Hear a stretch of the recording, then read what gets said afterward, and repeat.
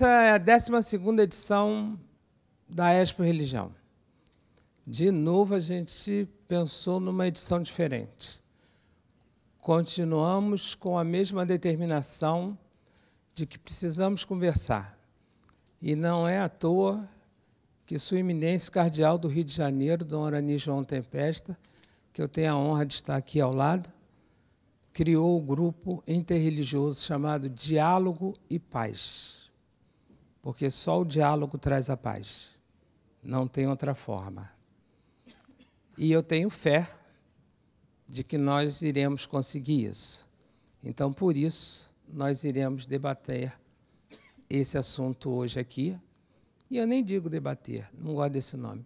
Nós iremos conversar e chegaremos ao mesmo ponto que chegamos na sexta-feira, onde nós temos pessoas aqui se oferecendo até para ir para a cozinha já. Então, nós vamos conseguir fazer isso.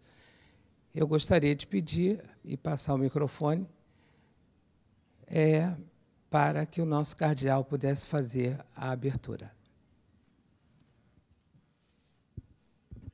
Muito obrigado, Luzia. É uma alegria poder estar aqui. Eu não pude estar na sexta-feira, estava num compromisso longe daqui, mas de poder vir aqui nesse último dia dessa edição da Expo Religião cada vez mudando de local, um lugar local novo, e agradecendo justamente por todos aqueles que participam, que fazem suas exposições, fazem seus produtos também e trazem aquilo que tem no coração de crença e expõem e dialogam uns com os outros. Minha saudação às lideranças que estão aqui ao nosso lado, a vocês que estão aqui também participando, aqueles que nos veem, ouvem ou acessam pela TV ou pelas mídias digitais para que nós possamos ver que começamos com as questões sociais e vamos continuar também hoje com as questões sociais.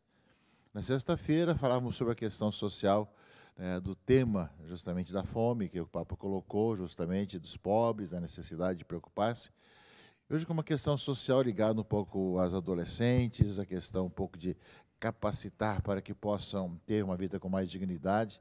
Enfim, as várias preocupações que existem, que eu creio que, além daquilo que nós acreditamos, além da nossa vida de orações, que cada um tem dentro da sua própria realidade, nós temos problemas comuns na cidade, no Estado, no Brasil e no mundo. Temos guerras espolcando pelo mundo afora, até perto da gente aqui na América Latina está com ameaça. Temos uma guerra urbana na nossa grande cidade.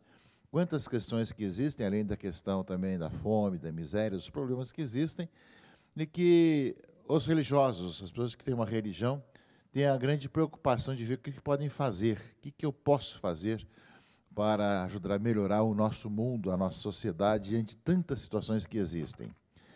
Nós queremos unir as forças para que a gente possa encontrar os caminhos. Muita coisa já é feito por cada grupo religioso, as pessoas que lutam, que preocupam uns com os outros, na promoção, na formação, na assistência e na transformação dessa sociedade. Eu creio que podemos ver que é, esse momento também e essa expo-religião desse ano traz realmente esse enfoque um pouco mais especial para que possa ver que as religiões, nas suas preocupações, além de elevar o espírito humano, naquilo que tem no seu coração, na sua vida, também tem a grande preocupação com a sociedade mais justa e mais humana. Por isso mesmo, nós vemos aí que as atividades são imensas, são enormes, mas algumas delas nós, cada grupo religioso faz e também a Expo Religião agora se responsabiliza por uma delas também, de poder atuar, de agir, que estamos sendo lançado também nessa tarde aqui. É uma alegria de poder ver justamente que as religiões têm o objetivo de paz, de fraternidade, de promoção da pessoa, de um mundo mais justo e mais humano. E é justamente esse aspecto que deve aparecer na sociedade, na imprensa, na divulgação. Veja que os grupos religiosos, que muitas são colocados de maneira negativa, né, pelos meios, muitas vezes como se fossem lugares de guerra, de brigas, na verdade são lugares de promoção da pessoa, de vida de pessoas que se elevam para buscar o eterno, buscar a vida, e que, como consequência, se unem para fazer o bem.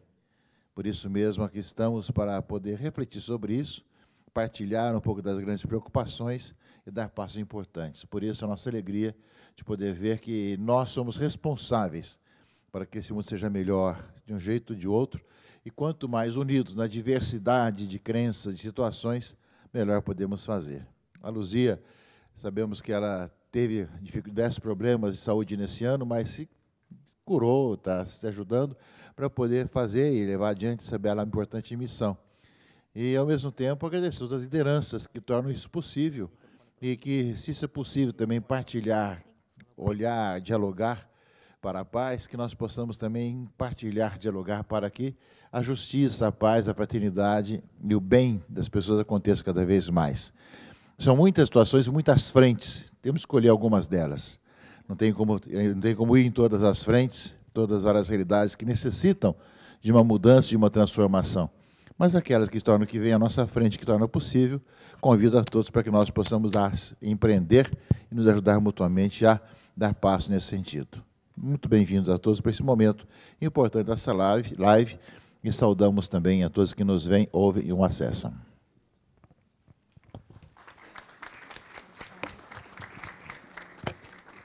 É seu.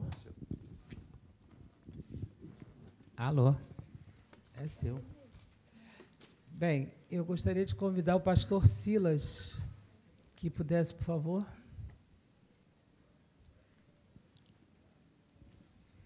Obrigado.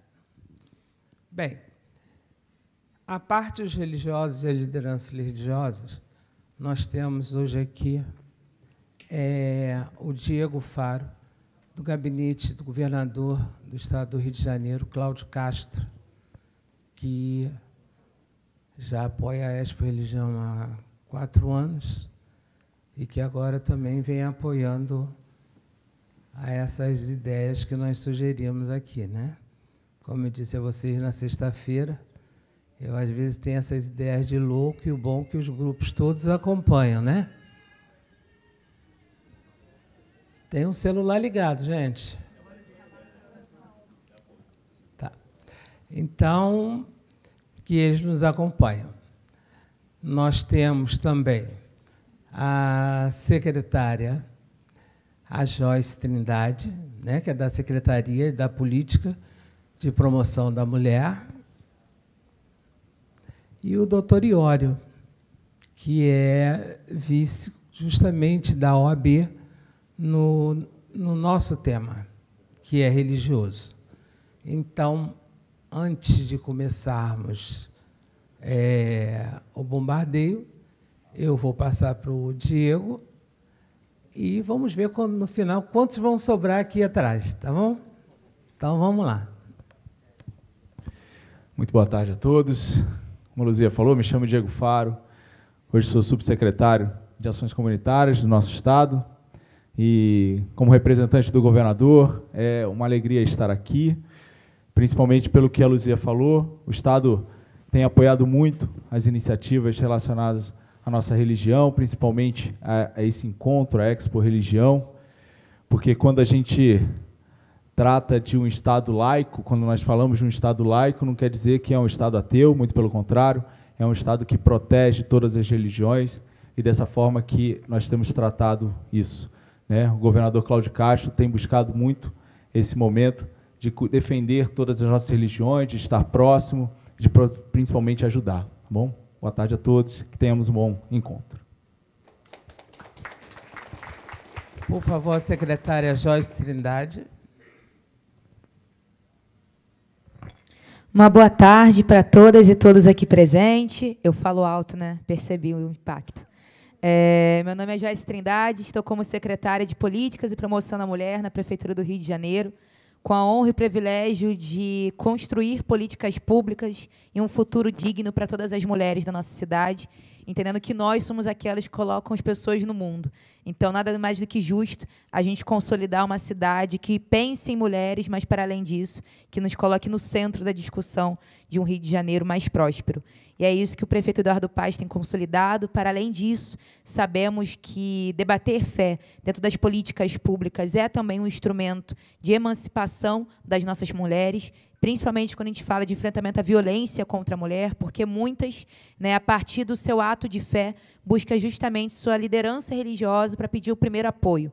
Então, que possamos, enquanto religiosos, enquanto pessoas de fé, também procurar caminhos e instrumentos para que essas mulheres também tenham apoio jurídico, apoio psicológico e outros tipos de políticas públicas para assim elas garantirem vida e dignidade. Então nosso trabalho é se somando a cada um de vocês para assim trabalharmos juntos e dessa forma garantirmos um futuro melhor para todas as pessoas, famílias e mulheres, né? Então nosso trabalho é esse. Quero muito parabenizar Luzia por esse essa ação tão fundamental que é a gente construir, né, uma cidade do Rio um país, um Estado mais fortalecido a partir da fé e a partir da política pública e da integração entre várias pessoas. Então, parabéns e parabéns a todos aqui presentes, que possamos seguir em coletivo. Obrigada, gente. Obrigada a você. Doutor Iório. Boa tarde a todos, boa tarde àqueles que nos veem pelas transmissões.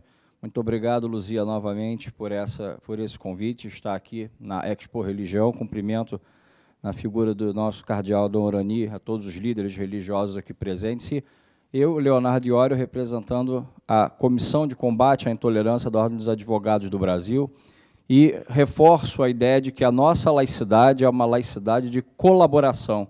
É importante que nós entendamos que o Estado brasileiro ele tem o dever de garantir a nossa liberdade religiosa e, quando houver interesse público, atuar, atuar conosco. Nesse sentido é que a OAB vem buscando trabalhar para difundir e promover a cidadania, e nesse aspecto isso é o quê? É que nós possamos entender que, ao exercer a nossa liberdade religiosa, nós exercitamos a nossa própria individualidade. A partir de janeiro, inclusive, no site da OAB, nós, nós já estamos com a nossa cartilha de informação em relação à liberdade religiosa disponível, é, para que nós possamos compreender, porque quando nós falamos em liberdade religiosa, Luzia, nós não pensamos que essa palavra se desdobra numa série de direitos, de cada um ter a sua religião, falar sobre a sua religião, se vestir de acordo com a sua religião, escrever dentro da sua religião, se educar, casar, ser sepultado, enfim. Poderia estar aqui mais de 70 direitos. Mas eu acho que de todos esses, os mais importantes, e isso nós estamos aqui conspirando muito bem, todas as religiões têm e defendem seus valores comuns em geral, ligados à solidariedade, à caridade, à erradicação da pobreza, a, a, evitar, por exemplo, essa extrema desigualdade que permanece no Brasil e, sobretudo, na nossa cidade, no nosso Estado. Então, acho que nós, quando nós nos unimos a isso, nós nos unimos também ao Estado e à sociedade civil organizada, nós estamos nada mais, nada menos do que exercendo a nossa cidadania, e é nesse sentido que a OAB está aqui disponível para é, auxiliar naquilo que for possível e parabenizar, Luzia, sobretudo, essa iniciativa, que já é a 12ª edição, por quê? Dentro desse tema, a gente, nós podemos é, justamente exercitar esse diálogo da paz, essa cultura interreligiosa, é por esse meio que nós vamos reforçar cada vez mais a nossa cidadania. Muito obrigado. Está pronto para o que vem por aí, doutor Yara? Estamos prontos. Tá bom. E vou, mais uma vez, lembrando Dom Luciano Mendes de Almeida, no que posso servir. Então, tá bom. Daqui a pouco. Bem, eu queria fazer um pedido.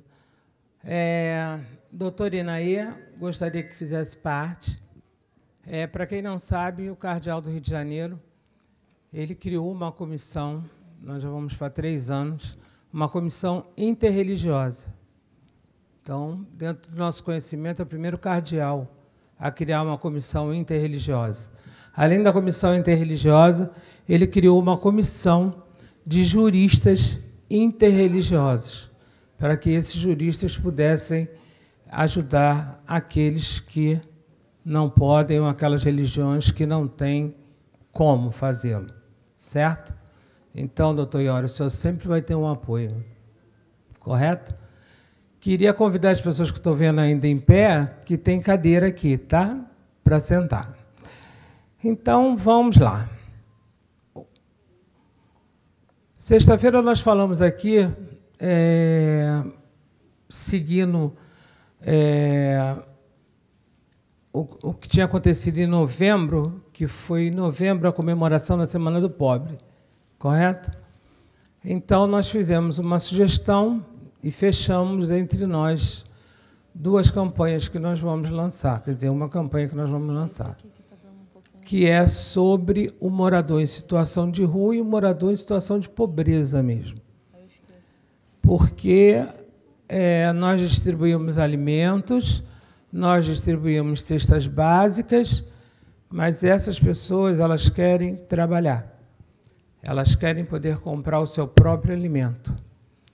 Elas querem ter de volta a sua dignidade. E por que, que nós sabemos disso? Porque nós não só entregamos alimentos, nós entregamos o alimento, nós sentamos com as pessoas, nós conversamos com as pessoas. Então, para nós, nós conseguimos, os religiosos, mapear o Rio de Janeiro. A gente sabe o morador de rua que está ali porque ele gosta de viver na rua, o morador de rua que está ali porque ele mora longe, não tem dinheiro para pagar a passagem, então de segunda a sexta ele dorme debaixo da marquise, no centro da cidade, só vai para casa aos sábados. O morador de rua que, infelizmente, durante a pandemia, ele teve que sair com toda a sua família e teve que vir para a rua. O morador de rua que não tem condição de pagar um aluguel.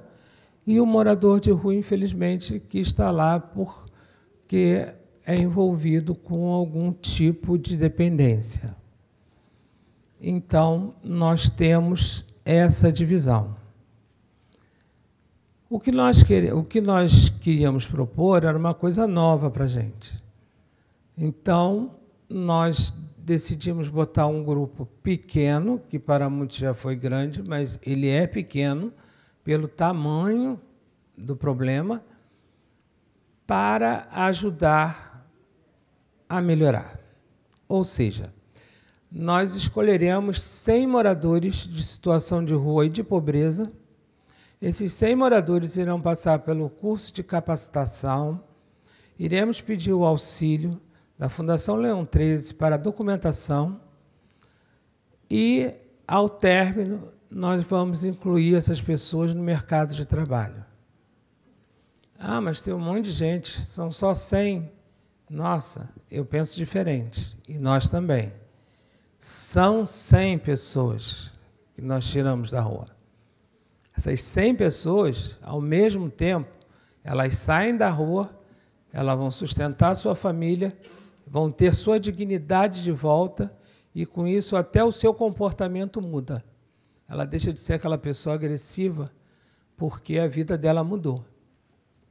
Então, nós tínhamos um problema, que era um problema de espaço, mas, pelo que está se desenhando, nós não teremos mais esse problema de espaço. E hoje até o Diego deu azar de chegar cedo, chegou mais cedo, ninguém avisou a ele. Peguei ele logo antes para resolver esse problema. E com isso,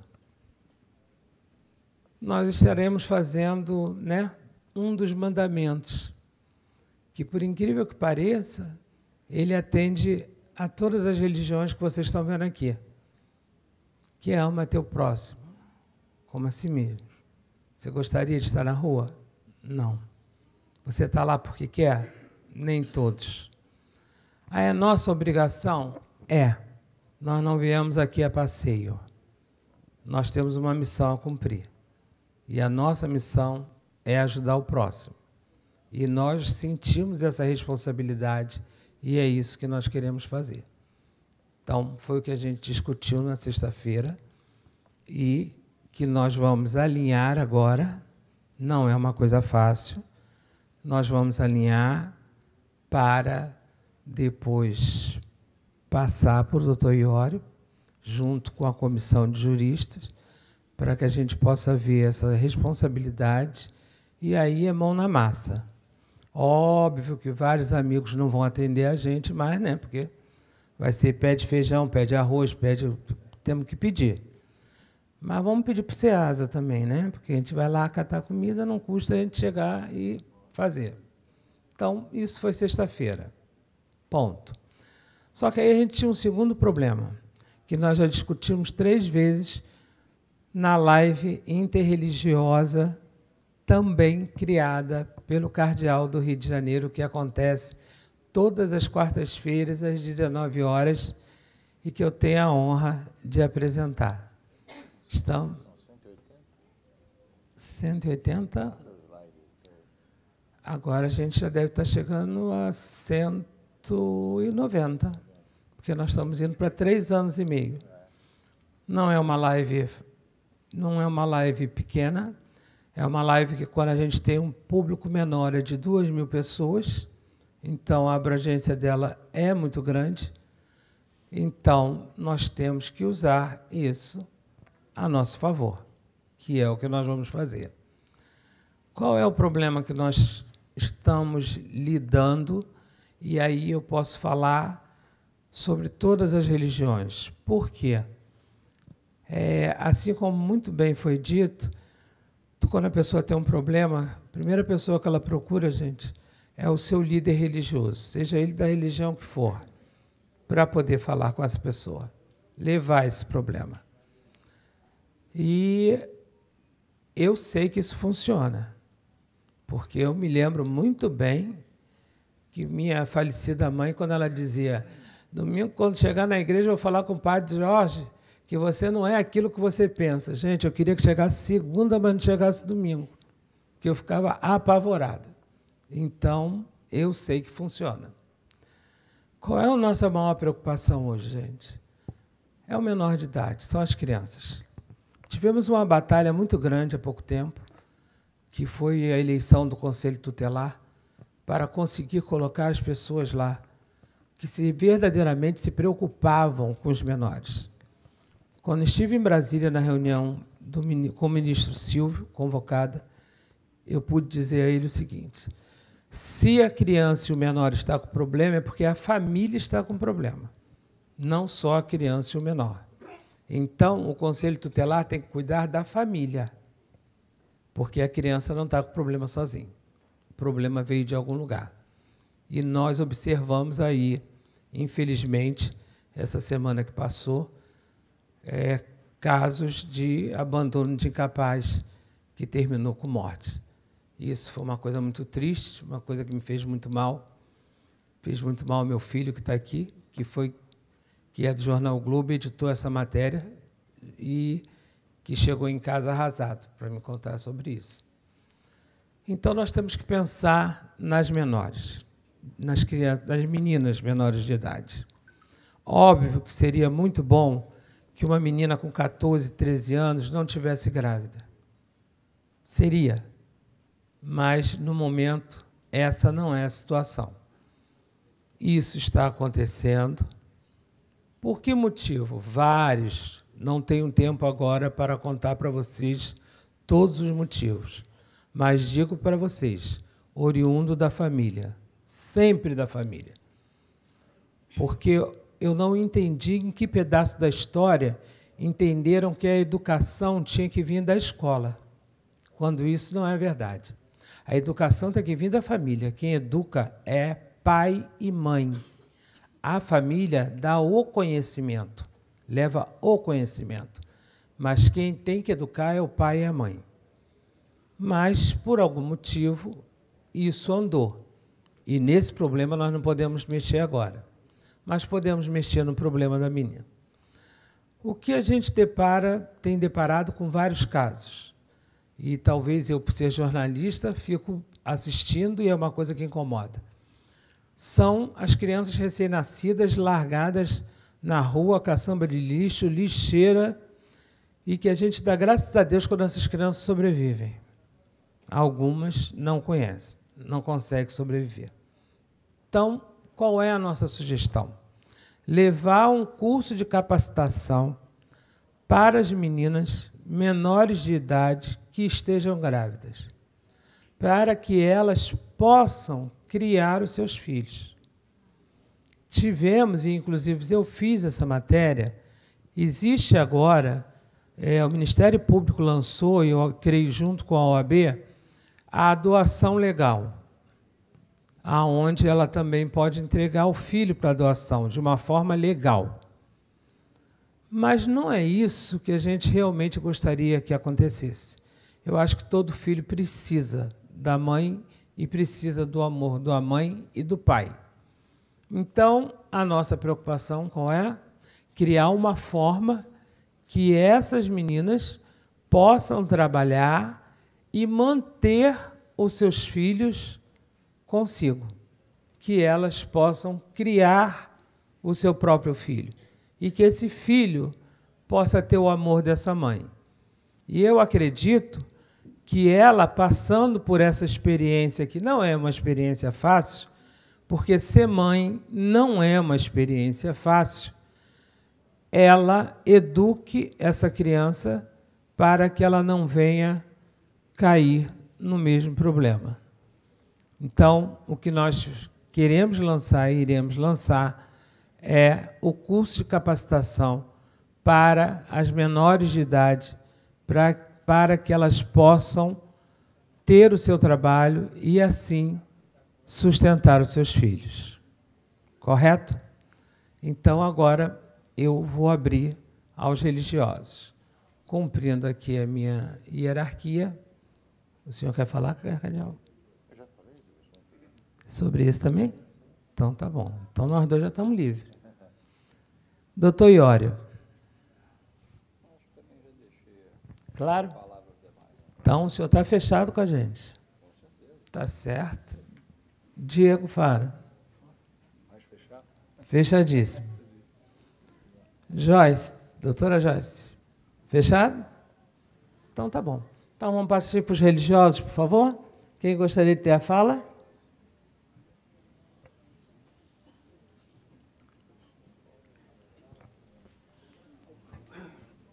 Então, por favor, aqui. Quem? Desculpa.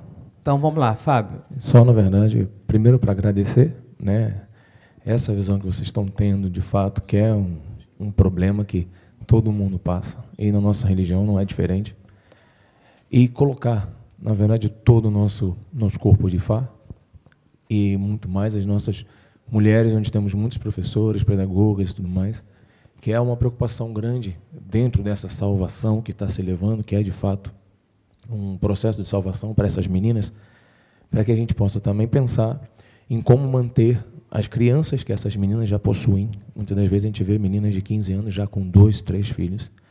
E um local onde a gente possa também estar atendendo essas crianças, colocar todo o nosso, nosso pessoal para poder também estar ajudando, assim como já temos nossas cozinheiras, colocando todo o nosso corpo também para ajudar de alguma forma construir algo onde a gente possa receber essas crianças enquanto as mães estão não só num processo já de gestação que deveria ser um processo muito sagrado e reconhecido por tal, mas mesmo assim, com todo o problema, estarão ali se capacitando. E aí precisam também ter essa paz, vamos dizer assim, de ter os seus filhos também tendo um bom tratamento e muitas das vezes é uma preocupação grande que a gente tem do que fazer não só com os pais que estão na rua, mas com os filhos que também estão ali. A gente vê cada vez mais o número de crianças aumentando no meio das ruas e a gente entende que não se tem como nem se colocar numa escola, nem se colocar numa creche. É, há uma dificuldade muito grande com relação a isso. E dentro desse projeto maravilhoso, eu pediria também para que tenha um olhar sobre isso, para que a gente possa ter um lar para essas crianças de alguma forma, mesmo que seja temporariamente, nesse processo de capacitação dessas mães. Perfeito. Fábio de Ifá. Quem gostaria? Por favor, microfone está onde? É, boa tarde a todos. Né? Eu gostaria de reforçar o que o Fábio falou. Então, enquanto educadora, né, eu penso que nós, enquanto educadoras e religiosas, em especial, e os religiosos educadores também, a gente se colocar à frente, à disposição de organizar um trabalho, um projeto em que a gente possa também, não só a capacitação profissional, mas que a gente também possa estar ajudando é, no, no, na educação, no sentido do conhecimento, né, é, para que cada um de nós possa estar cumprindo o nosso Dharma, né, segundo a minha filosofia, que é o nosso dever prescrito. Então, a gente precisa manter a família, é super importante. E essa, essa proposta de que a gente está dando para que as pessoas tenham essa possibilidade, mais uma, que é muito difícil na adolescência você assumir esse papel. Eu sou mestra em educação, infância e juventude nessa linha. Então, isso é muito importante. Então, eu estou colocando pessoalmente a minha disponibilidade e a de todos os educadores dentro da minha filosofia, para que a gente também possa estar somando e estar atuando nessa área para ajudar esse lindo projeto. Parabéns, Luziana Cerda. Mais um projeto muito importante para que a gente possa fazer no nosso país.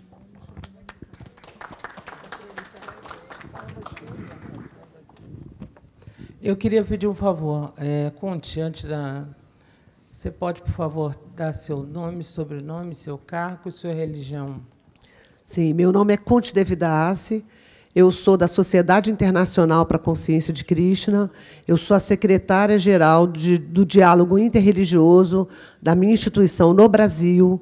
E dentro do Rio de Janeiro também eu tenho várias outras funções e sou membro ativo também dos conselhos estadual e municipal pela defesa das, dos direitos religiosos. Sim, e aí eu preciso completar e preparo o pão para o cardeal.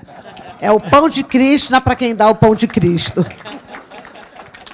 Não, pior que ela trouxe o pão, ela está grudada com o pão ali, que parece assim, uma barra de ouro. E olha que eu já falei com ela duas vezes que eu estou com fome e não posso comer uma coisa diferente. Nem assim foi, gente. Fábio, por favor, nome, sobrenome, religião. Ah, sim, Fábio Bastos, sou Balaô, da rama afro-cubana, da rama Ifaniloro, da maior rama de Fá do Brasil. Queria pedir a todos agora, por favor, que começassem a falar para fazer o mesmo, que nós estamos ao vivo, então as pessoas querem saber. Ok? Quem está falando? O único aqui que não precisa fazer isso é o cardeal. Quem pediu? Alexandre. Por favor. Eu vou arrumar a casa, só um minuto. Você é a falta da live, tá vendo? Me perdi. Por favor, Santa Rosa. Oi? Não tô, porque eu estou pedindo aqui para botar a imagem para mim aqui e eu estou sem imagem aqui. Estão passando um vídeo bonito. Por favor, Santa Rosa. Está colorido, tarde. né? Boa tarde a todos, boa tarde a todas. Eu sou Raimundo Santa Rosa, é, integrante da Comissão de Direitos Humanos da Grande Loja Maçônica do Estado do Rio de Janeiro. Também sou é, alabê da Casa de da Ialorixá, é, que não está mais entre nós, e sim no Orum, Mãe Nitinha. E é, do que sublinhou Luzia, e aí é, é, Luzia é sempre ousada, e pessoas como ela têm que ser do jeito que ela é, ousada, e é uma proposta como essa, é uma proposta ousada. E todas as propostas ousadas a gente tem que participar de corpo e alma. Então foram faladas algumas coisas, e eu queria sublinhar o que é especificamente. Estou pedindo licença aqui ao presidente da minha comissão para falar. Marcelo, se me permita só contribuir da seguinte forma. É, várias ações, Luzia, nesse projeto foram colocadas, mas a geração de emprego e renda ela é primordial para que isso aconteça. Então, vamos fazer da seguinte forma.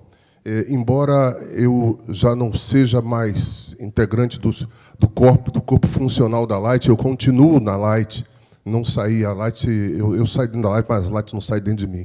Eu faço parte hoje de uma comissão que estamos tratando de algumas questões. Então, lá dentro, a gente já pode, com esse trabalho maravilhoso, já é, falar com recursos humanos para absorver alguém desse grupo seu. Hoje eu estou em outra instituição chamada INB. Estou na indústria nuclear do Brasil.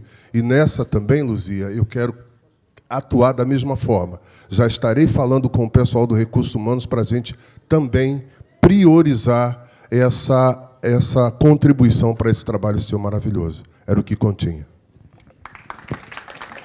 Quando eu digo que para Deus nada é impossível, ainda nem começamos, mas o emprego já tem. Eu queria falar uma coisa rapidinho, aproveitando que o Santa Rosa ele quase não me dá confiança, mas é um irmão que eu gosto muito. E quando a coisa. Eu queria pedir aí atrás para falar mais baixo, por favor. É, quando é uma coisa boa, eu tenho que falar. Teve, há cerca de cinco anos atrás, eu estava com problemas para realizar a Expo Religião. E eu encontrei o Santa Rosa. E passei o problema para ele, conversei com ele esse problema. Ele falou: me dá até amanhã que eu vou te dar uma resposta. E aí, no dia seguinte, Santa Rosa me levou até a LERJ, ao gabinete do presidente André Siciliano, que resolveu e ligou para o então vice-governador Cláudio Castro. E os três resolveram. Por que, isso é importante?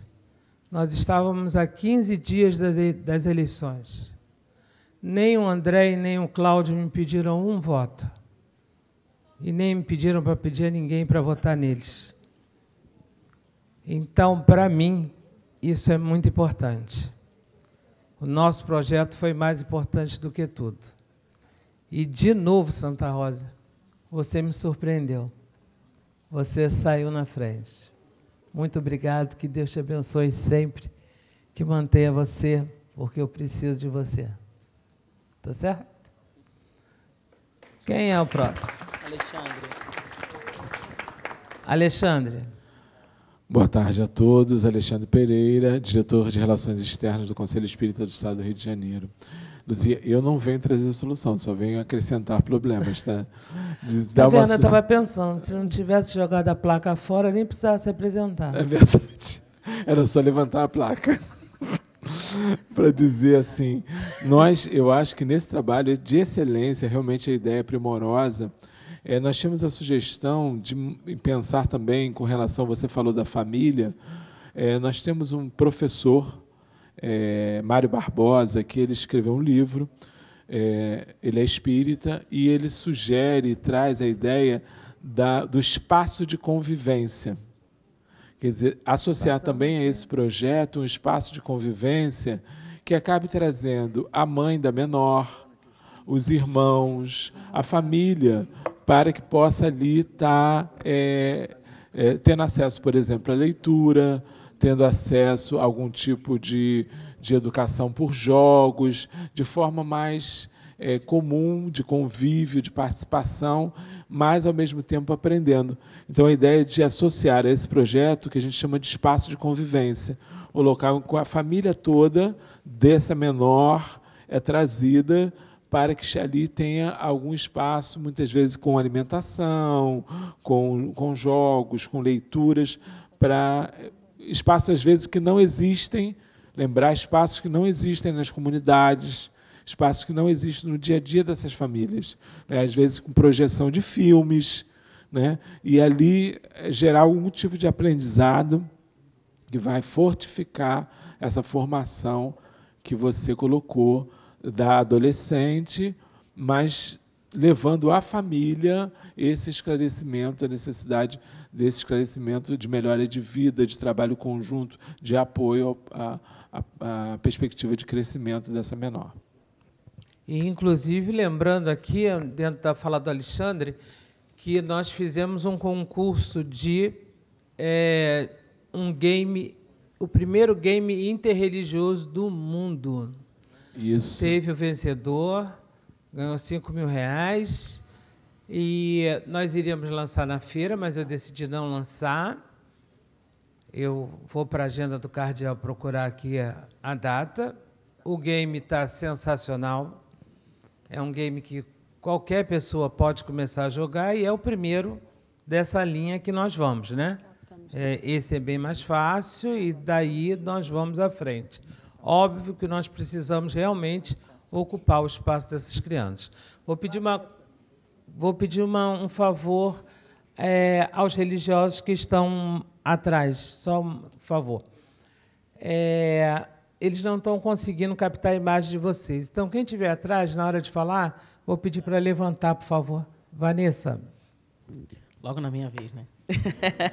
Boa tarde a todos. Eu me chamo Vanessa Oliveira. Eu sou diretora de comunicação do Conselho Rio de Janeiro Sul da Igreja de Jesus Cristo dos Santos dos Últimos Dias. Eu sempre falo que o nome é grande, o nome do, do cargo e o nome da igreja, mas eu ouvi aqui uma coisa antes de falar que me fez pensar. O nome é grande, mas também pela grandiosidade de quem está no nome. Né? Então, não vou esquecer mais disso.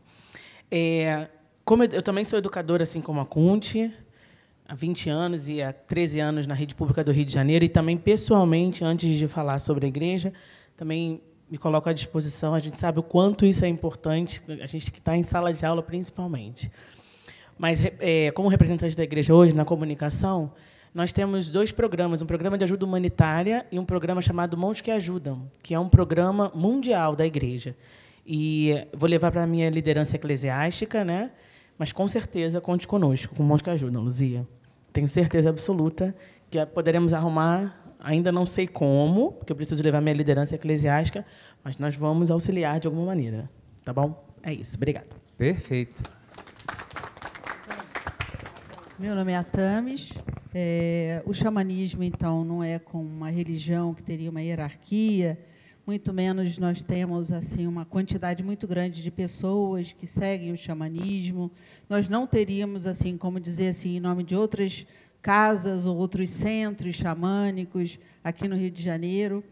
Mas, na tradição xamânica, uma das questões importantes é a qualidade que a gente traz na gente. Então, o meu nome é Mulher Beija-Flor.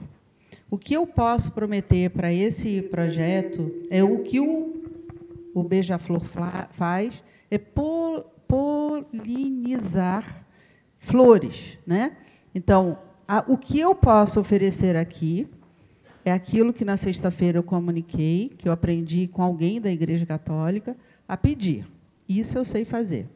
Eu não tenho vergonha e ensina todo mundo que queira aprender a pedir porque dá ao outro a oportunidade de dar. Olha que coisa bonita, não é?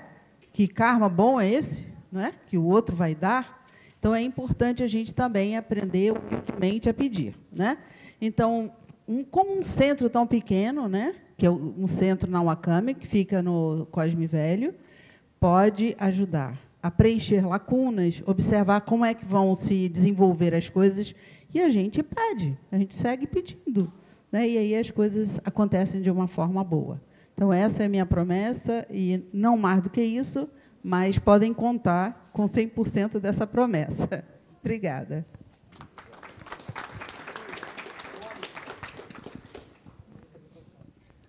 Boa tarde a todos. Sou Mônica de Sá, sacerdotisa de Umbanda, que faço parte desse grupo. Eu vou dar um rabinho e roubar a fala da Tamis. Já que é para pedir, vamos pedir. Para ter dignidade, tem que se ter documento. Contamos com a colaboração do Estado, do município e da OAB. Perfeito. A hora de pedir é essa. É a hora que está aqui. Og. É... Isso. Oi. Oi. Tomei um susto. É, meu nome é Og Sperli. Eu sou presidente nacional da União Wicca do Brasil. E, Luzia, é, pode contar sempre. Ah, na minha vez funcionou. É, eu, olha, eu não vou nem falar da panela, mas tudo não, bem. Não, não, não conversei com ninguém da organização, não. É, é só para tirar o som da, da, do nosso retorno aqui, gente. Oi.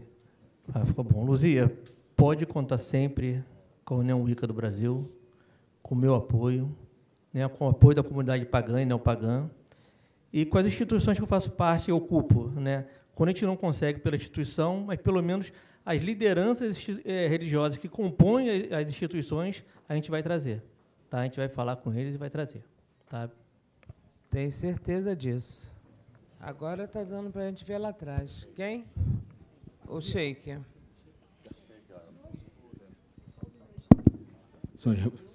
Sheik. Tá. Pode ir. Já vou. Uh, Assalamu alaikum. Que a paz de Deus esteja sobre vocês. Uh, boa tarde a todos e a todas. Agradecer essa oportunidade por estar aqui e compartilhar naquilo que é um bem para a sociedade. Um, eu quero dizer o seguinte, que uma das coisas que a gente fica feliz e se alegra é, com profundidade aquilo que são os projetos virados à sociedade que são pessoas que muitas vezes precisam da gente. Uh, eu só queria acrescentar uma coisa, uh, isso mais virado para nós, aos líderes religiosos, uh, a questão da espiritualidade.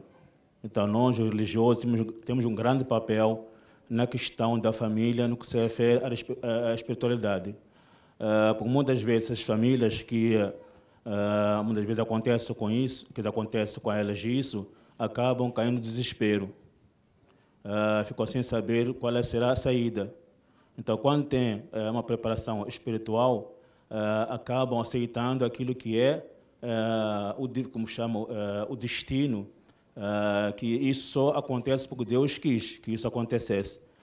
o papel dessa pessoa é o seguinte: ter a confiança e a esperança que um dia isso pode acontecer, que tenha uma solução para que ela possa viver com dignidade. Então, é uma forma da gente, nós, os religiosos, termos essa consciência que temos esse grande papel para que possamos dar a essas famílias uh, esse sentimento que uh, não estão sozinhas, mas Deus está com eles. Então, tudo é possível, tudo pode se resolver. Obrigado. Sheik, só por favor, o senhor pode se apresentar, seu nome? Desculpa, acabei me, acabei me esquecendo. Sou Adam Mohamed, uh, sou o Sheik da, da, da Mesquita da Luz, da, Mesquita da Luz, da Sociedade Bíblica Muçulmana do Rio de Janeiro. Obrigado. Obrigado. Quem é agora? Eu, Luzia. Em nome de Deus, o clemente misericórdia. Vou falar uma coisa para vocês, hein? Fizemos um palco de 3 por 8. Disseram que era grande, tá? não está dando. Em nome de Deus, o clemente e misericordioso, louvado seja Deus, o Senhor do Universo. Eu sou o Sheik Rodrigo Jalul, de São Paulo, do Centro Islâmico da Penha, da comunidade muçulmana xiita ao qual desde 2010 já havíamos iniciado em São Paulo, através dos trabalhos islâmicos, um trabalho já com a população de rua, e eu tenho hoje uma parceria grande com o padre Júlio Lancelotti, ao qual envia abraços a todos, saudações a todos também, que tem um trabalho com a população de rua. E quero parabenizar é, o Instituto Expo Religião, esse evento. Eu, eu sempre faço questão de sair de São Paulo e participar, porque eu acredito que esse é um é um grande espaço daquilo que Deus proveu à humanidade, que é, chama livre-arbítrio. Então, aqui nós temos um espaço de livre-arbítrio para a gente conhecer, trocar ideia, buscar sua espiritualidade, sua religiosidade, com toda a liberdade, paz e amor. Esse é o primeiro ponto. O segundo ponto que acho muito importante é os passos que o Instituto Expo Religião vem tomando. Eu não sou do Rio de Janeiro, posso, posso participar de alguma forma de São Paulo, mas é um importante passo que é o entendimento hoje da instrumentalização da religião para servir, que muitas das vezes é, sempre vemos aí religiosos e instituições religiosas acreditando que a religião é para ser servida e não para servir. E hoje aqui, né, a gente já sabe que dentro da, de cada crença já é difícil nós promovermos um trabalho em pró-humanidade. E um instituto reunir diversas religiões e criar um propósito onde todos se, possam se unir com o único propósito que é servir ao próximo é algo muito grandioso. Mas lembrar que todo início é difícil, não é fácil. Então, vai exigir de todos que participarem persistência, vai exigir que é, é uma resistência, vai exigir esforço físico, material, espiritual, em todos os aspectos. E lembrar sempre, como eu e o padre Júlio Lancelotti sempre falamos em São Paulo, que o mais difícil ainda é que quem se dispõe a andar junto dos oprimidos não pode esperar que vai receber aplausos, vai ser oprimido. E quem andar com os excluídos, quem andar com as pessoas rejeitadas na sociedade, tem que esperar que não é de se esperar muito é, das, por parte das pessoas, e sim esperar também que possamos estar sujeito à rejeição, a abominação por parte de muitas pessoas que muitas das vezes não entendem o que é resgatar 100 pessoas que vivem nas ruas, né? Que 100 é um número pouco? Não, não é um número pouco. Há quantos anos eu estou na rua todos os dias, ou o Padre Júlio está na rua todos os dias, o valor de cada vida é importante. Imagina de 100 vidas. Então, se o Instituto bater essa meta, na verdade, para um projeto inicial, imagina o que isso pode se tornar com a prazo longo em 10 anos. Né? E através de um trabalho interreligioso, como eu disse, que é o mais importante. Mas estarmos preparados para o que vem pela frente também, porque muitas das vezes a caminhada é longa, ela é árdua, ela desanima muitas das vezes com ataques, com pessoas que não concordam, não entendem, mas ela é prazerosa ante Deus. E lembrar também que o amor e a caridade não são dimensões religiosas, são dimensões humanas. E também é muito importante levar em conta é, não somente as pessoas religiosas, assim como aquelas que não têm religião, que também podem promover o bem e acrescentar, que eu acho que eu não percebi se tem algum ateu aqui presente. É, não, não, sei se tem algum representante do ateísmo, mas sempre é importante, em qualquer encontro interreligioso dentro de um Estado laico, pessoas também que não têm religião, não têm uma crença, mas se dispõem também a fazer o bem, que podem estar sendo inclusas dentro da nossa sociedade, porque fazem parte da nossa sociedade. Muito obrigado, que Deus abençoe a todos. Salam alaikum. Só respondendo ao senhor, Sheik, não, não temos por um único, só lhe respondendo, nós não temos por um único motivo. A Expo Religião é uma feira interreligiosa, então ela é composta de religiões. Então, por isso que nós não temos o ateu nem o agnóstico mas respeitamos muito. Mais alguém para falar? Um então, vamos lá. Uh, Bismillahirrahmanirrahim. Assalamu alaikum a todos. Uh, meu nome é Wassim Ahmad Zafar. Eu sou presidente da comunidade Ahmadiyya do Islã no Brasil, uh, que acredita que o Messias Prometido já chegou. E nossa sede fica em Petrópolis. E quero parabenizar o Instituto Expo, que é tão importante e interessante que ano inteiro nós esperamos uh, contando os dias. E ficamos muito felizes de conhecer uh, todas as religiões e também é, nós quero que eu quero dizer que nossa comunidade tem uma ONG uh, Humanity, First que através dessa ONG nós ajudamos as famílias e as pessoas sem olhar religião ou raça ou cor. Então, nesse ponto, depois vou uh, conversar com a, a, dona Lúcia e vou mandar encaminhar nosso projeto a nosso responsável e podemos também participar uh, para ajudar as pessoas. Muito obrigado. Obrigado. Papião. Boa tarde a todos. Eu sou Papião Cristiane Santos, represento o OCA, Observatório Cultural das Aldeias, a Espiritualidade Indígena e o Catimbó de Jurema. Dentro do OCA, nós temos professoras indígenas e professoras não indígenas do artesanato, e já colocamos à disposição do que vocês precisarem para ensinar elas a bordar, a fazer colares, que a minha mãe sempre diz que quem borda nunca passa uma necessidade. Então, o bordado sempre nos leva a algo, e algum trabalho. Obrigada a todos. Pode sim, Marilúcia. Boa tarde a todos e todas. Meu nome é Marilúcia Pinheiro, sou da FEBARRAI, aqui do Rio de Janeiro. Também eu sou do Conselho Municipal pela Liberdade Religiosa e membro da Assembleia Espiritual Local dos Barrais do Rio de Janeiro. Na Fé Barrai tem uma premissa seguinte: a mulher é a primeira educadora.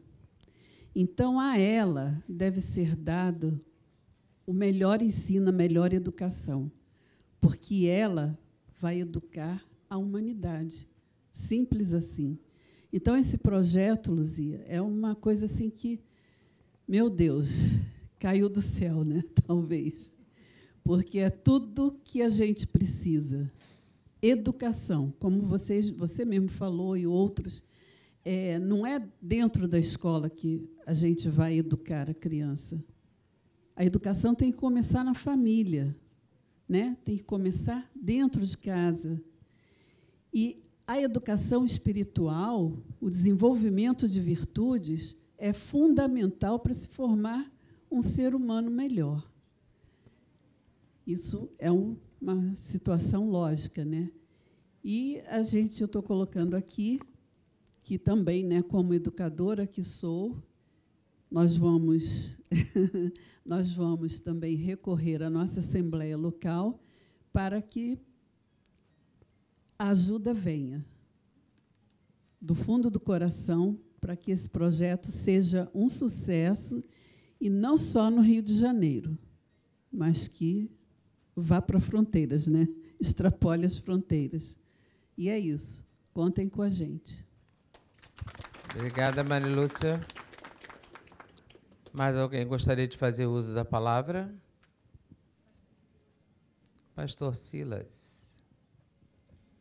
Meu nome é Silas Esteves e eu estou, mas eu quero uh, lembrar simplesmente que a fé sem obras ela é morta.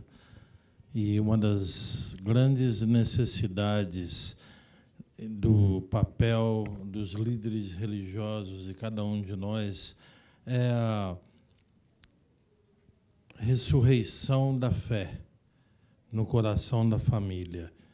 Isso vai trazer a cura para muita coisa, a educação dentro de casa, partir da família. Eu faço parte ah, desse grupo de diálogo e paz fundado por Dom Orani faço parte do uh, Conselho de Igrejas Cristãs do Estado do Rio de Janeiro, faço parte de um Somos Um, que é uma plataforma de diálogo entre uh, de ecumênico de uh, pentecostais e, e católicos.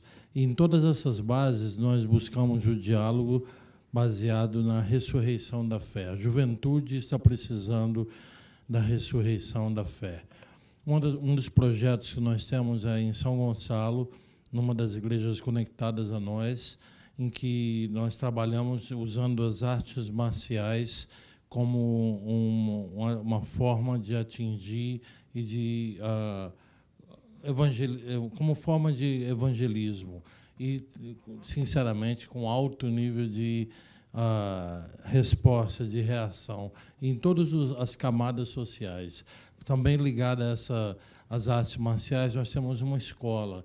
E unindo tudo isso, na educação, na fé, na proteção, na valorização e no resgate da dignidade humana. Nós temos, sim, condições de uh, trabalhar uh, e de eh, construir uma juventude sólida na sua fé.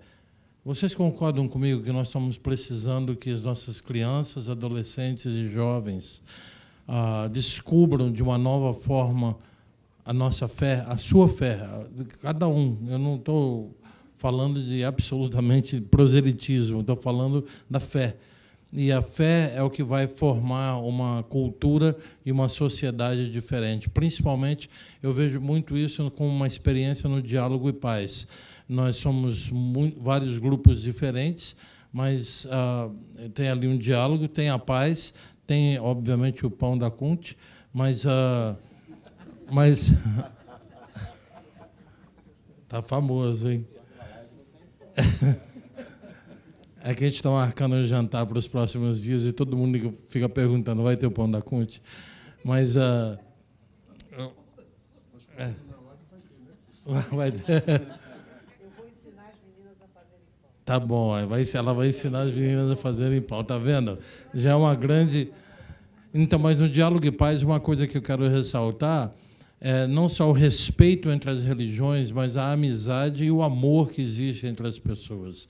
E eu quero trazer aqui a palavra amor, porque é essa palavra que vai transformar a sociedade. Se nós aprendermos a amar uns aos outros, e uma das carências, quando Cristo diz para amarmos uns aos outros como Ele nos ama, é amarmos a nós mesmos, para que tenhamos condições de amar o próximo e de querer uh, lutar pela dignidade do próximo, em qualquer nível que pudermos fazer. Então, nessas escolas, voltando para pontos práticos, ah, seja nas artes marciais usadas para para resgatar pessoas das drogas e outras coisas que temos feito ah, na cidade de São Gonçalo, ah, nós podemos também disponibilizar e tem algo que está sendo, na verdade, são núcleos pequenos em escolas, em comunidades, em diferentes partes, ensinando, principalmente para as meninas, defesa pessoal e de um sucesso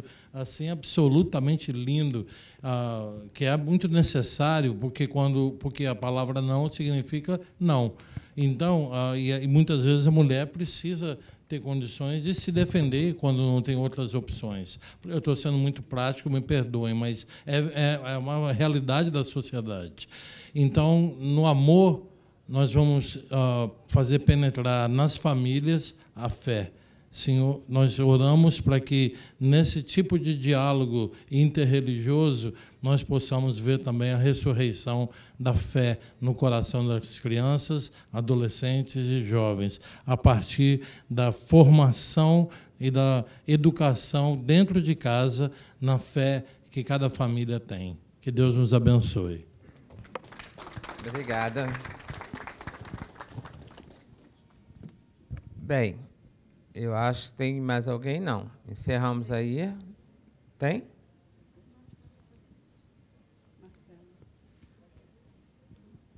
Marcela? E cadê o microfone do Marcelo?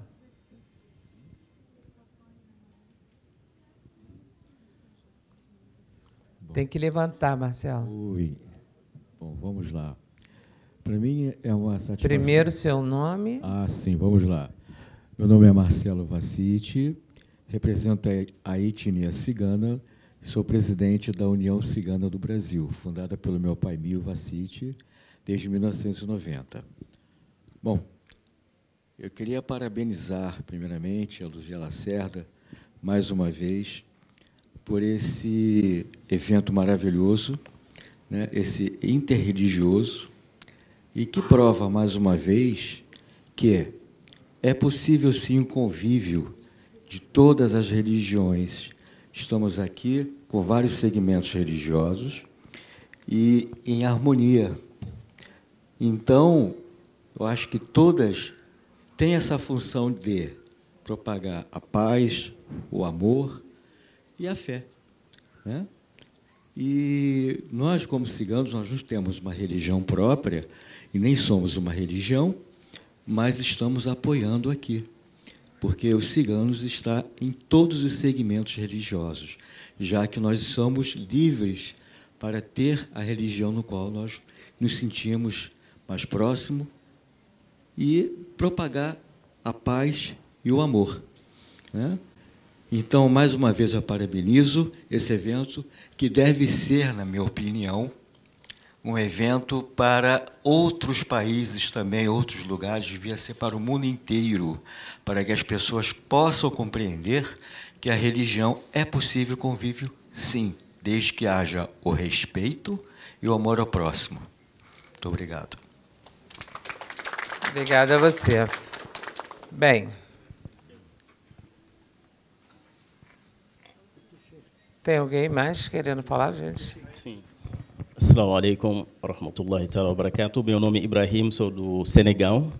Há muito tempo que eu moro no Brasil, sou membro do, do CEPIFISM, que é Centro de Estudo, Pesquisa e Formação sobre a Sociedade Muçulmanos. E uh, é a primeira vez que a gente participa desse evento.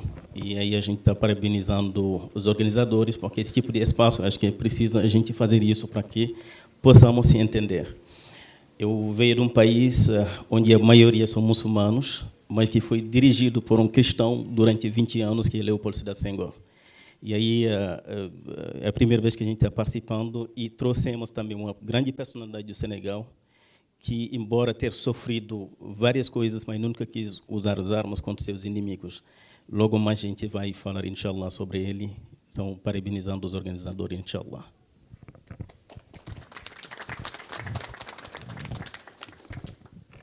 É, Encerramos? Não.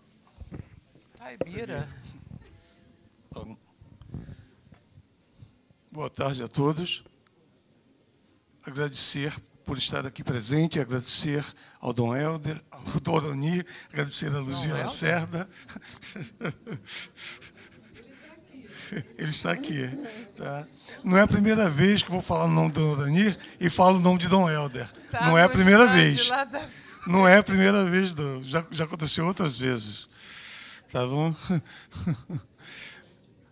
Por estar presente a este evento, buscando somar, buscando unir forças, ideias e buscar que essas ideias se transformem realmente em atitudes e ações cada dia mais construtivas.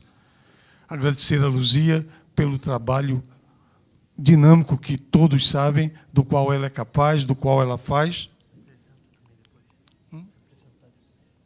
Tá? Do qual ela é capaz, do qual ela faz em prol do respeito, em prol de unir pessoas de credos, culturas, fé, totalmente uma diferente da outra, mas com um objetivo, o objetivo de somar, o objetivo de unir, o objetivo de crescer como ser humano em prol do outro e que cada um de nós temos mais compaixão e que aprendamos a ser mais humano.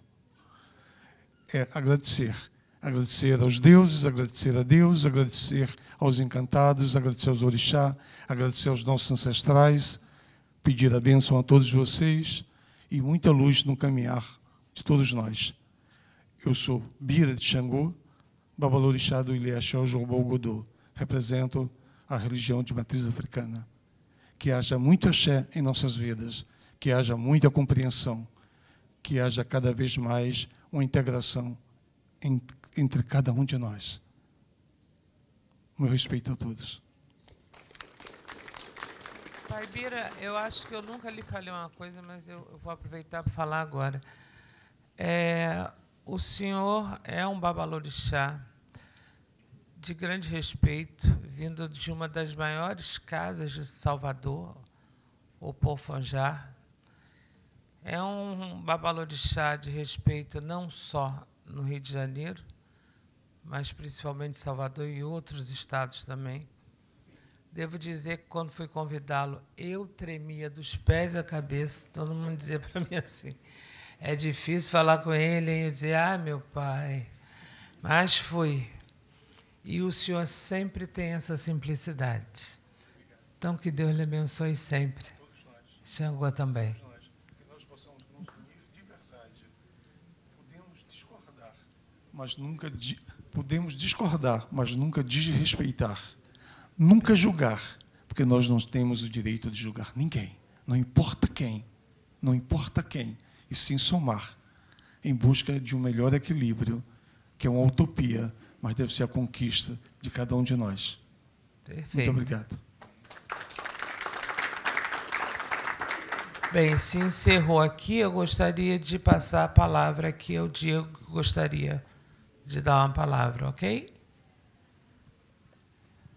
Um- Só fazer um comentário, enquanto eu escutava aqui a todos os líderes falarem. É, eu sou católico e desde, o, desde a minha, da minha juventude participei de, de grupo de vicentinos, participei de grupo jovem e a gente sempre trabalhou com essa pauta social, né? a gente sempre esteve junto fazendo políticas públicas dentro da igreja. E hoje, numa outra posição, dentro do governo do Estado, a gente vê que o sucesso de uma política pública vem quando a sociedade civil se faz presente e apoia e, e- e cobra e ajuda. Né? Então, Luzia, dentro do, do projeto que você tem apresentado, conte com a nossa ajuda, com o nosso, com nosso apoio, sempre no que for possível, eh, seja através da emissão de documentos, como, foram, como foi colocado aqui, ou qualquer outro tipo de ajuda, estamos à disposição. Tá bom? Obrigado, gente. Muito obrigada. Bem, eu gostaria de agradecer a vocês, principalmente, de novo, a todas as lideranças religiosas, a começar por Dona Ani, porque eu tenho essas ideias loucas assim, eu não sei porque que eles vão atrás, mas eles vão. Geralmente dá certo. E essa eu acho que vai dar muito, muito certo, porque essa diz com respeito ao ser humano, a melhora de vida de um ser humano. Eu tenho certeza que nossas iniciativas serão copiadas e essa cópia eu vou ficar feliz. Mas deixando claro, copia depois que eu fizer, tá? Não copia antes, não, porque eu posso ficar nervosa. Então, copia depois. E eu acredito que isso vai acontecer. São pessoas. Essa é a nossa obrigação. Não vamos apontar dedo para ninguém. É responsabilidade de A ou B? Não, é responsabilidade de todos nós. E é por isso que eu acredito que irá dar certo. Eu, particularmente, estou muito feliz. Montamos essa ESP esse ano para discutir quatro projetos que vão beneficiar seres humanos e trazer de volta a dignidade desses seres humanos. Então, valeu a pena? Valeu sim. Foi difícil, mas valeu, gente. Porque quando a gente vê o resultado, isso aí não vai ter preço. Peço a Deus que me dê vida para ver, e eu quero ver e vou ver. E nesse dia, se eu chorar, por favor, não fiquem mal. Porque, não sei vocês, mas eu trabalho com a distribuição de, de alimentos, de refeição. Vocês não imaginam o que é ver uma pessoa debaixo de uma marquise com chuva com em dias difíceis. E quando a gente chega com aquela alimentação, aquilo é tudo. E quantas vezes eles têm que dividir, achando que não vai ter no dia seguinte. E isso não acontecia, porque no nosso grupo a gente dividia, né? Quem era segunda, quem era terça, quarta, quinta. E quando anunciava vai ter chuva, a gente saía já avisando, para debaixo de marquise tal, que é maior, para debaixo, sabe? Como uma vez eu respondi muito mal uma pessoa e pedi desculpas depois, mas eu acho que a pessoa tem que saber o que fala. É, se já é pobre, por que, que tem cachorro? Só para explicar, eu vou explicar sempre. Gente, o cachorro é a defesa do morador de situação de rua. É ele que alerta para a maldade que pode acontecer com eles. E quando a gente faz essa distribuição, a gente sempre pede para aquela pessoa que tem um cachorro ficar próximo a uma família que tenha crianças, principalmente meninas pequenas e meninos, que é para ele para se tiver alguém que queira pegar essas crianças que ele possa alertar. Então, são responsabilidades nossas? São sim. Então, eu estou muito feliz com isso. Então, eu agradeço mais uma vez aos religiosos, agradeço a vocês que vão participar. Eu não tenho como agradecer a sua eminência, Dona Ani. É, eu já me sinto tão feliz de me apresentar, de apresentar essa live há três anos e meio. Eu realmente eu não sei se eu mereço tanto, mas é, para mim é uma honra, uma live criada pelo senhor. E quero dizer que vou voltar, hein, gente. Janeiro, a gente está aí representando as melhores, não é isso? As melhores lives. Em fevereiro, nós estaremos de volta, numa volta triunfal, porque eu não sei fazer nada pequeno. Então, nós vamos voltar diretamente da Confeitaria Colombo, uma live presencial. Só depende da agenda do cardeal. E aí, assim que a gente tiver agenda, a gente vai divulgar. Ela vai levar o pão para Colombo? Gente, aí eu vou falar uma coisa. Aí é pior do que levar maionese para praia. Eu vou te dizer, não. Ah, não vai levar pão não, hein? Não vai não. É, agora vê, gente.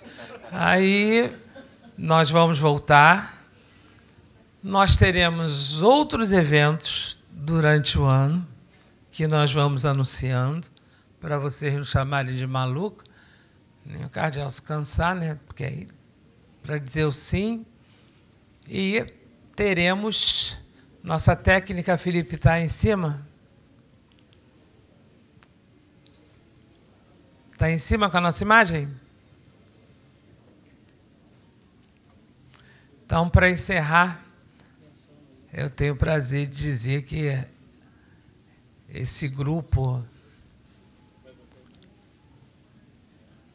Vai, Dani.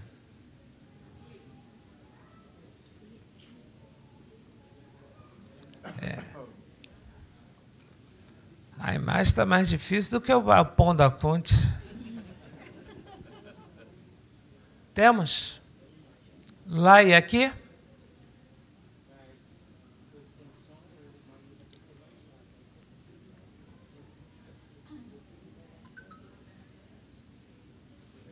Eu quase ouvi tudo.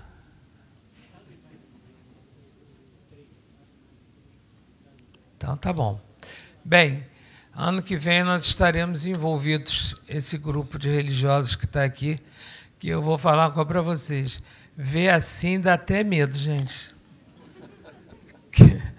Eu acho que cresceu um pouquinho, cardeal. Porque não está tendo nem lugar para sentar. Olhar assim deu, deu, deu, deu medo. Quero aproveitar enquanto estão vendo a imagem, deixar sempre claro uma coisa para vocês, tá, gente? O capitão deste navio é Sua Eminência, Dom Orani João Tempesta. Eu só limpo com vés. Então, por favor, deixa isso sempre muito claro com vocês. Ele é o nosso capitão. Eu fico lá no convés, passando um pano, uma coisa assim, limpando eu não posso fazer esforço, né? Então eu fico lá assim, dizendo, fulano, limpa ali. E vou falar para vocês, no convés não tem pão não, tá? Só lá na casa de máquinas que o pão chega.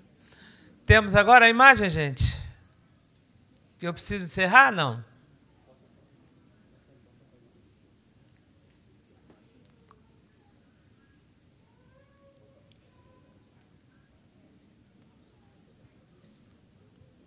É isso mesmo? Não. Alguém pode me dizer o que está acontecendo? Senão eu pego a imagem aqui e seguro.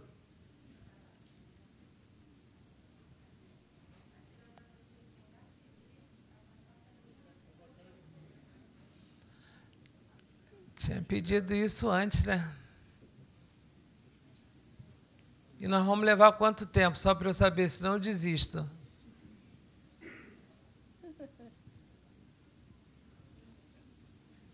É, aí a gente fala então o quê?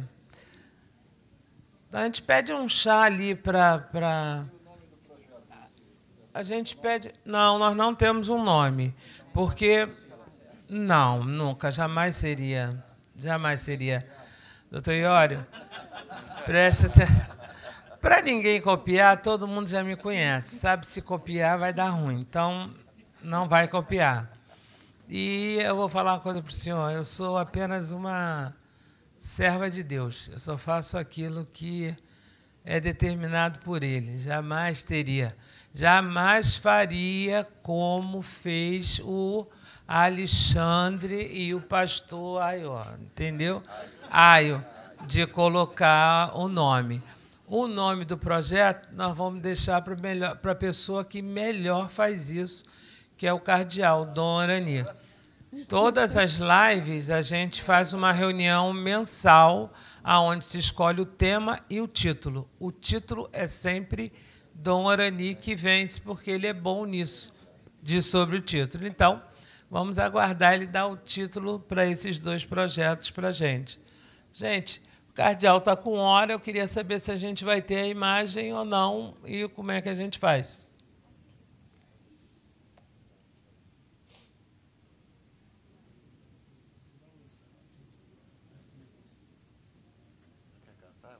É, também podia cantar, né? Se você cantar um canto.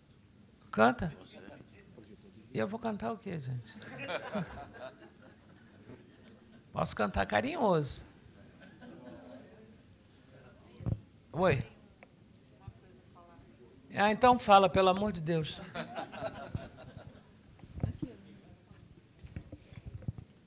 alguma coisa soprou aqui no meu ouvido e aí eu fiquei muito sensível e achei que era importante falar, né? Porque você comentou aí que 100 é um número grande, outras pessoas dizem, mas só 100, né?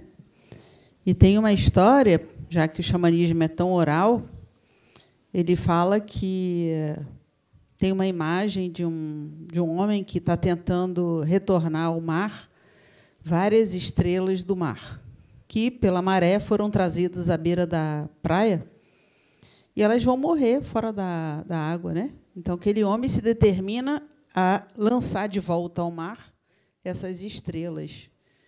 E alguém chega no ouvido dele e diz assim: Mas são muitas estrelas, são mais de 3 mil, você não consegue colocar todo mundo no mar. E aí ele pega aquela mais uma estrela, ele já tinha jogado várias de volta ao mar, ele disse: "Mas essa sim". E ele caminha mais um pouco e diz: "Mas essa sim". Então assim, não importa a quantidade, mas que cada uma tem uma importância muito grande. É aquela que se apresenta diante de você, é aquela é aquele que está do teu lado, esse sim. Essa sim. Então, não tem não tem número, né? É o que você pode e deve fazer. Que assim seja. Bem, vocês agora estão vendo aí, agora nós estamos vendo aqui, mas já saiu de novo. É, esse grupo de religiosos que estão aqui, o Instituto Expo Religião, juntamente em parceria com a Diálogo e Paz, comissão criada pelo Cardeal do Rio de Janeiro, nós estaremos no G20. Estaremos lá levando uma parte muito importante, né? Como disse o Papa Francisco há tempos atrás, sobre cuidar da casa comum.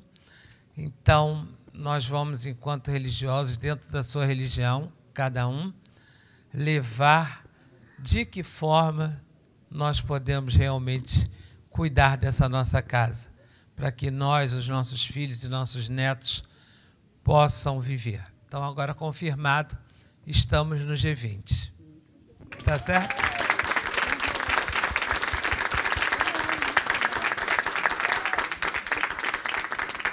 Agradeço a todos vocês, que todos fiquem com aquele que lhe fortalece. E muito obrigada mais uma vez. Obrigado, TV Aleste, a TV do Povo.